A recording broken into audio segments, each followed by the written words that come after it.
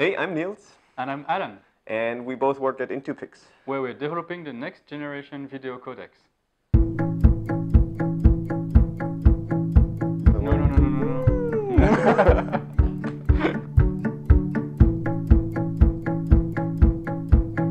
Let's get started, right? yes. Let's do this. Uh-huh. So- Is video compression. Yeah, why is video compression necessary? Video produces a lot of data, and generally your bandwidth is limited. So in order to transmit the video data, you need to compress it so that it fits on the network. Easy as that. And where is video compression used? Basically, anywhere where video needs to be managed, transmitted, or stored. That can be in cinemas, in live broadcasting, VR gears. Autonomous cars nowadays, they use video compression as well.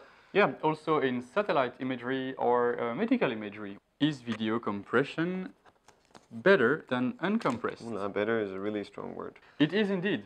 But if you use the right codec, then you can compress your image while preserving the visual quality and virtually add no latency. At the same time, you will save cost, bandwidth, and power.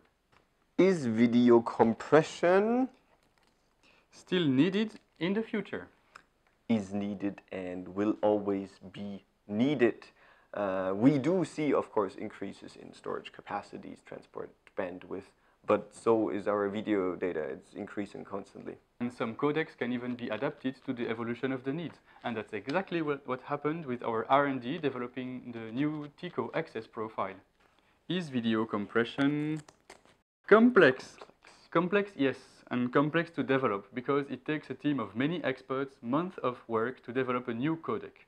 If you mean complex in implementation, then it again depends on which codec you use. And H.264 is going to be way more complex in the encoder than in the decoder, whereas TICO is about same same in encoder and decoder, but much less complex overall. Yes, much less complex. Whoop. Next one. So, how video compression? How does video compression work? Oh, difficult. Difficult. Very difficult. Simply said, you want to restructure a large amount of pixel information into a much smaller bit stream. To do that, most algorithms use three steps. The first one is the decorrelation, where you reorganize the pixel information. Then you have the entropy coding, where you attribute the shortest codes to the most frequent information so as to reduce the size of the bit stream. And then you have the rate control, where you can choose between lossy or lossless compression. Depending on the compression ratio or the targeted bit rate, you will keep only the most relevant information to achieve the best possible result. How long does video compression take? Well, that depends on two things, platform and compression ratio. Let's say you want to compress a lot, like by 50 to 1, then that will take you up to multiple seconds. But if you want only a lightweight mezzanine compression, like TICO XS, then it will take you only a few microseconds. Microseconds. How to implement video compression? Well, you can get off-the-shelf boards already with a codec on them, or you can customize your solution running it on an FPGA embedded into an ASIC on CPU, GPU, up to you. How to choose the best video compression? Well, I'd say identify your needs and the challenge you want to solve.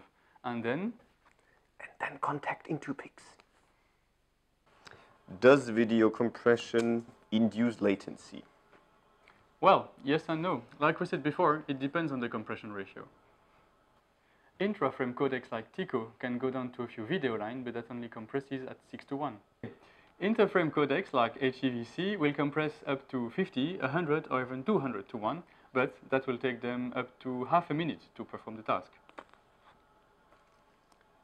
Does video compression reduce quality? Usually you differentiate between lossy and lossless compression. However, there is this term of visually lossless, which purely theoretically means you do lose quality. However, you can go up to a few centimeters in front of the screen and you're not going to notice any difference.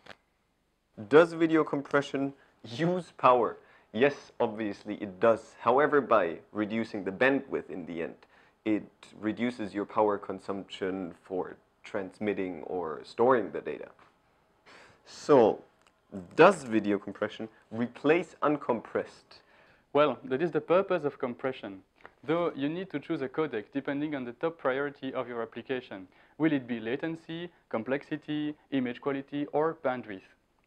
Exactly. And depending on that, you choose whichever codec suits your application best. Yes. And if you want to know more about the different codecs available, have a look at our website.